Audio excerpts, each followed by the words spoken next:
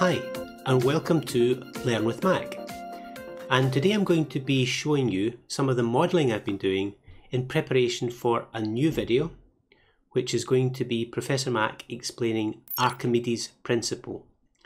Now Archimedes' principle is a law which essentially, and a theory which essentially shows why things float and why things sink and I'm going to be using a video to explain that I've put together a scene where the video is going to take place and I'm, today I'm going to just talk through what's in the scene, how I've gone about modelling it and in future videos I'll show some of the more in-depth detail of the various elements in it. For today it's just an overview of the place in which the video is going to take place.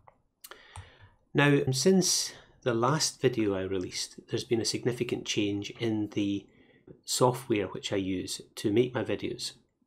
The software I use is a software application called Blender and you can get that for free at blender.org. It's an open source project. The software is incredibly powerful and it's free to use for whatever you want to do with it. It's great.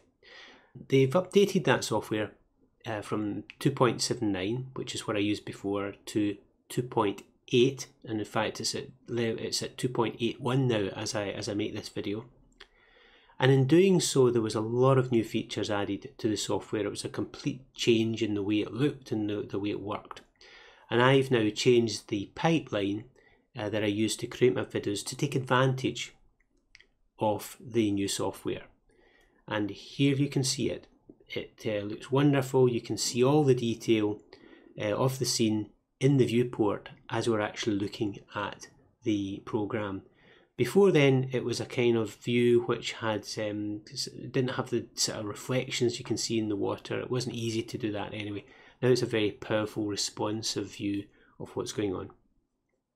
So let's have a look at the scene and what I've been doing and see the overview of where this new video is going to take place. It's going to need water because we're going to be looking at why things float and why things sink.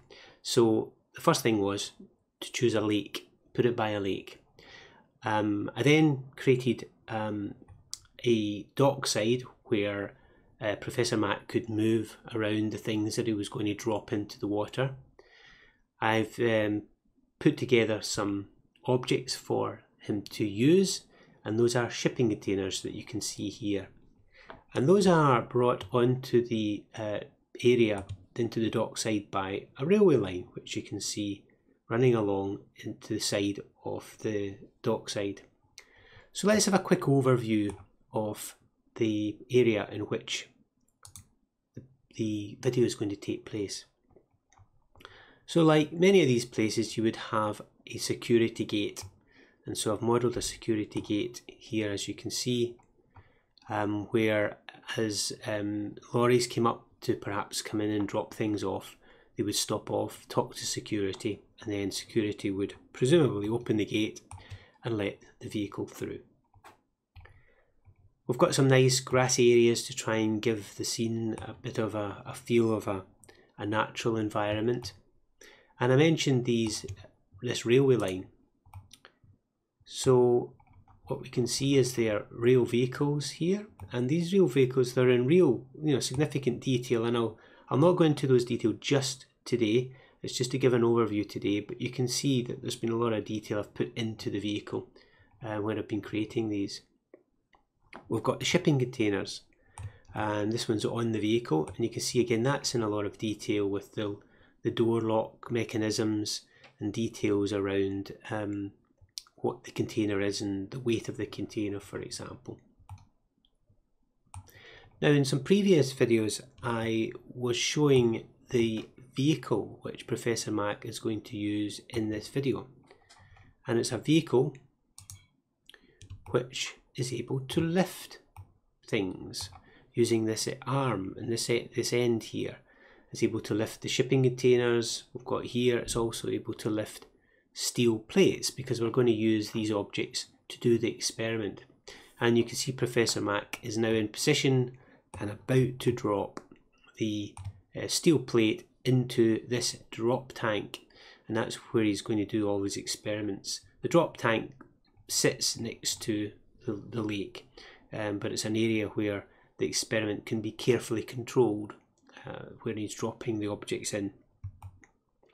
The vehicle, I've shown some detail in previous videos, please go and have a look at those, but it's now complete.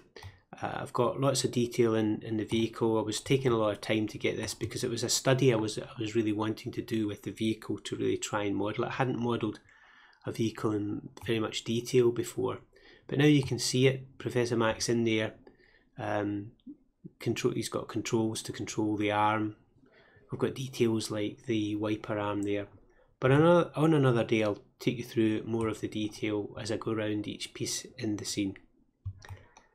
We've also got a ship which uh, is there, um, lots of detail in the in there as well to show you, and that is the overview of the area in which Professor Mac is going to be doing these experiments.